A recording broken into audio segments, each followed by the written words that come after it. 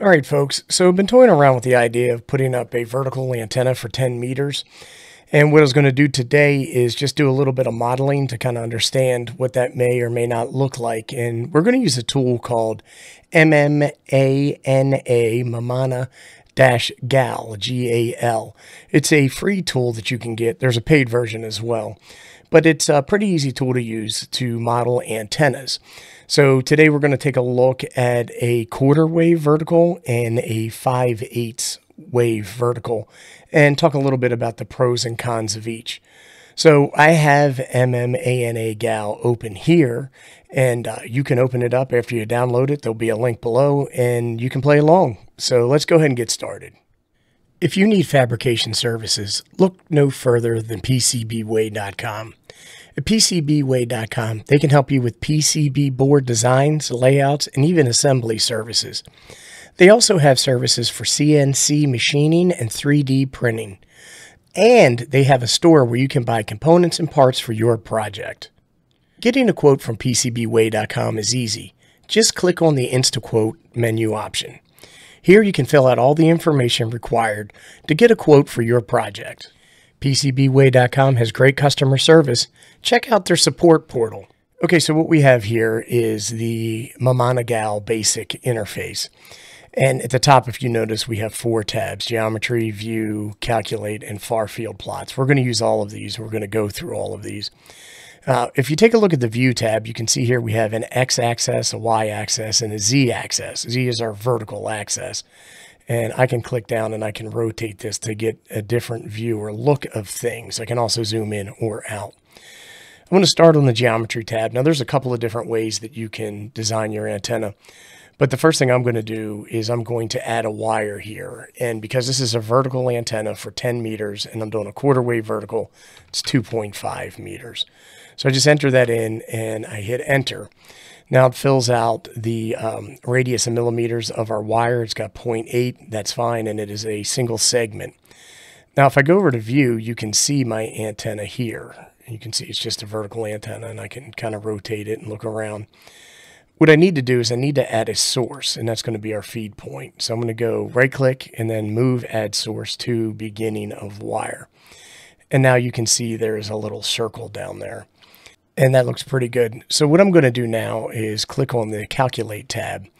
Oop, let's go back to geometry. I forgot since this is for 10 meter, I need to go ahead and I can set my frequency and I'm just going to pick 28200.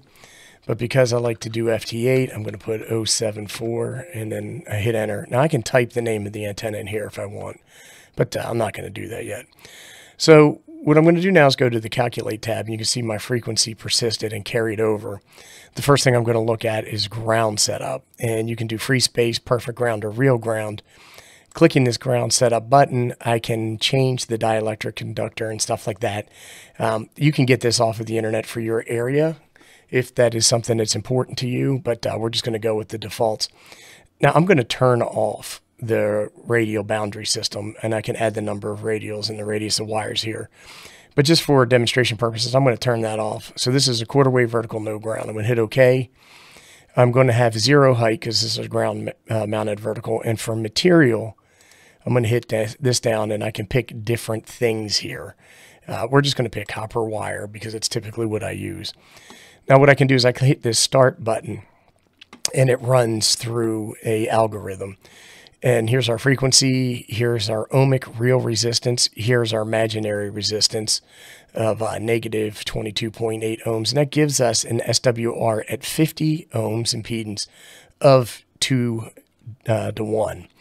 And that's good, but that's not as good as I want. And if we take a look at the gain over here, I can see that uh, we are negative, uh, 0.31. So it's less gain than a dipole uh, or I'm sorry, from an isotropic radiator. dBd is for dipole.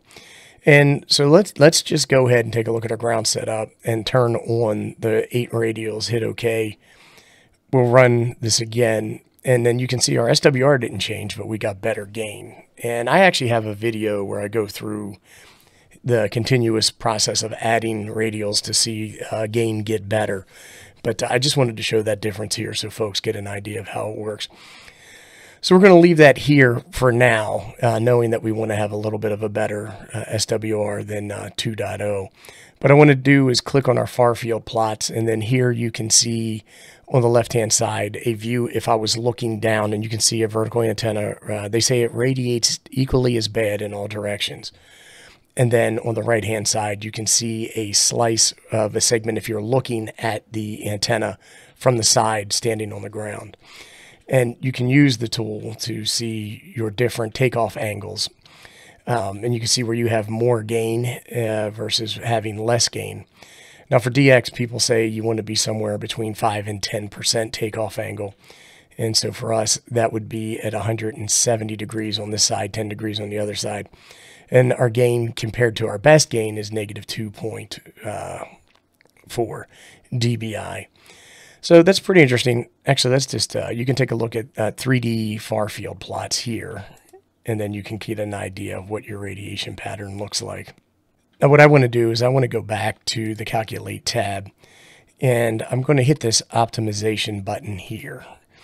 And when I do that, I get different options for optimizing my antenna design. And you have gain, front to back ratio, elevation, uh, impedance, SWR matching current. And I'm actually more concerned about uh, SWR and matching. So I'm going to highlight those. And then down here, I'm going to click this and pick wire. And I'm going to change this to Z2, which is the wire uh, that we have identified as our vertical element. And then I'm just going to hit start. And it's asking me to save the optimization log. I don't need to do that. I'm going to hit no. But you can see after running the optimization, our SWR dropped to 1.38, which is a lot better. And here we have it 0.52. So one of the things I can do is click on this plots button down here and I can come over to SWR, click on resonance, and I can find out where my antenna is performing at its best. And it looks that it's around 27.915, which is not the uh, frequency that I'm interested in. So that means that I need to take a look at or consider changing the length of my antenna again or doing more optimization. Uh, we're not going to worry about it too much. And what we're going to do is, once again, take a look at our far field plot, which is right here. And then what I'm going to do is I'm going to go File, and then I'm going to save my far fields. And then we're just going to call this test. 25 because it's a 25 um, or one quarter wave. And I'm going to hit save.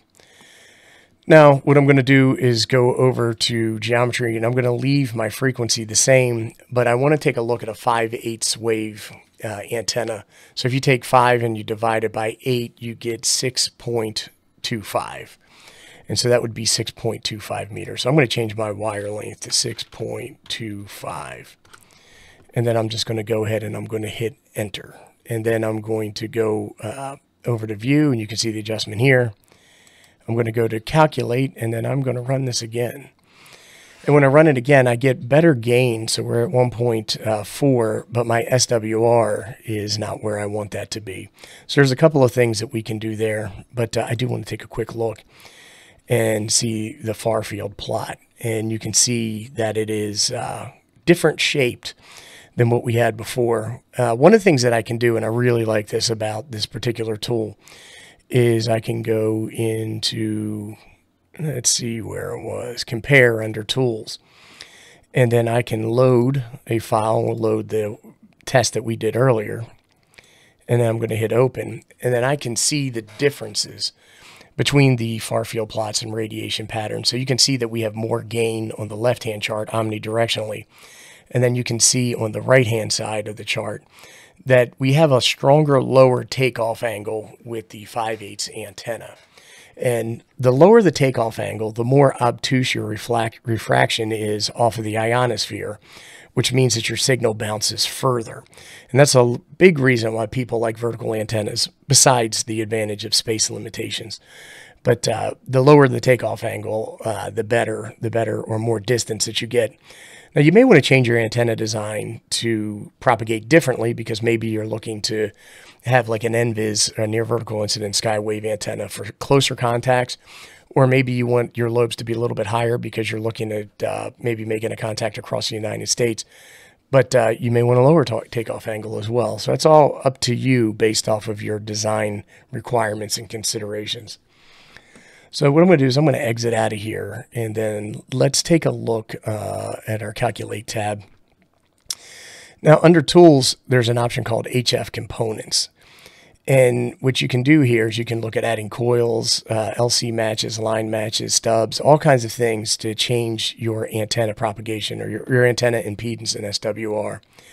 What I like about this is, is that it gives you a recommendation for an LC L network that you can put into your at your feeder line.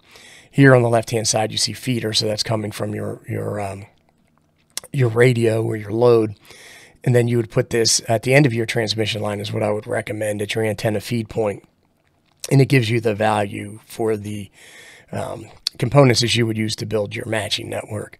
Um, this is a this is a capacitor in parallel, so you can see here the capacitor uh, shunts or shorts out your center conductor to your shield. You can put the capacitor in series, and then you can use an inductor as the shunt. It's really your choice, and uh, both of those should work fine. Okay, so now we're back at the calculate field and I'm going to come down here and I'm going to hit the optimization again and we're going to we're going to run this one more time. And I'm going to leave these values to the same values that we had before where we're going to optimize on Z2 and we're going to optimize for SWR or match. I can actually turn my impedance up too. Let's let's just do that. And and what these bars do, these sliding bars, is adjust the importance of these values when doing the calculations. So let me hit start, run through this.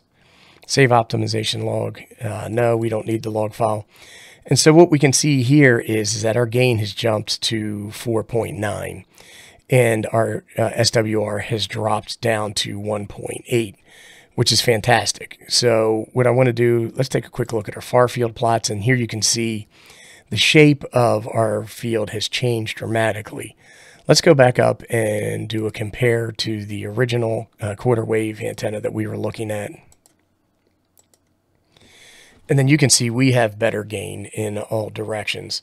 So I think the question now may be, well, what's different? Well, one of the things is, is that it's including the matching network that we picked. And if I come over here and I go into geometry, it changed the length of my antenna to 7.92, which is larger than 5 eighths wave.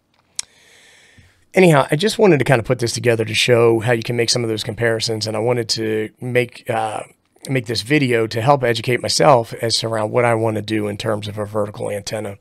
If you have any questions, comments, suggestions, or recommendations, go ahead and post them below. I appreciate everybody watching. Thank you.